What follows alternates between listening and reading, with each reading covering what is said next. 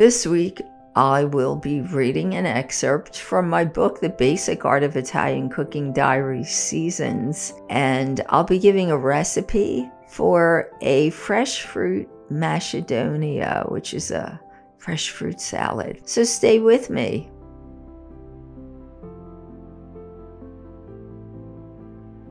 And as promised, here is an excerpt from my book, The Basic Art of Italian Cooking Diary Seasons. And this excerpt is titled All Meals End with Macedonia, and it's dated January 15. Hypnotized, or somewhat like Pavlov's dogs, embarrassingly, I am always making bowls of Macedonia and Italian style fresh fruit salad for an after lunch and dinner dessert. I didn't realize how much of the stuff I was always making until my friends suggested that maybe we should just have some pieces of fresh fruit after dinner once in a while. I realized my dilemma there. Macedonia, which is a fresh fruit salad, was the way we always ended dinner at my grandmother's house when I was younger, and my mother did the same. Not that I am complaining, I love fresh fruit, and because of my grandparents, I am conditioned to always have fresh fruit after my meals. But it has become more than I have almost been programmed to end a meal this way. When dinner was over, Nona would automatically get up from her seat, and everyone knew she was going to the little cool wine cellar in back of the kitchen. The kitchen was under the house, and would come out with a bowl of freshly made Macedonia to the oohs and ahs of everyone at the table since it was much anticipated after a full meal. Something sweet but light, and something that seemed to help digest the meal made with whatever fruits were in season. It almost seems that being in Italy, I am now conditioned to feel that my meal is not complete without a dish of fresh Macedonia. Dinner was always filled with opera and singing and freshly made plates of pasta, artisan cheeses, freshly baked breads, wine, and well, here in Italy, meals meals are the same, and the feeling that they are not complete without the grand ending of a bowl of fresh Macedonia. In Italy, the tradition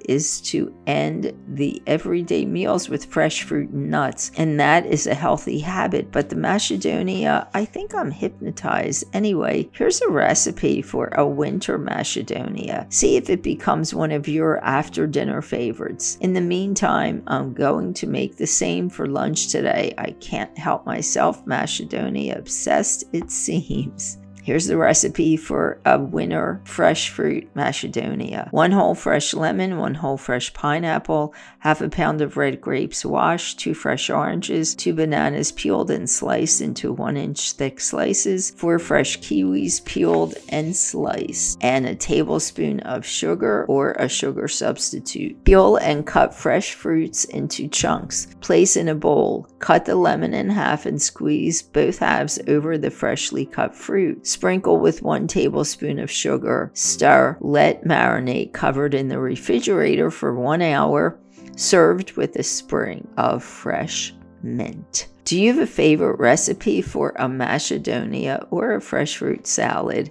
Share the recipe and or photo and hashtag the Maria Liberati show and hashtag the basic art of Italian cooking diaries on social media and you'll be entered in a giveaway for swag for the book. Your photo will also be shared on the book's page. Thanks for listening to the Maria Liberati Show. And as always, you can find me at marialiberati.com, on Facebook at Chef Maria Liberati, on Twitter at Maria Liberati, on Instagram at Maria Liberati, on Pinterest at Maria Liberati, on LinkedIn at M Liberati, my Roku channel, which is the basic art of Italian cooking by Maria Liberati, my YouTube channel, The Maria Liberati Show, and my Vimeo channel, Maria Liberati. And you can find all of the books in my Gourmand World award winning book series at artoflivingprimamedia.com, on Amazon and Kindle, and really anywhere books are sold. And you can also find my blog at marialiberati.com. And don't forget, I'll be doing that four course Italian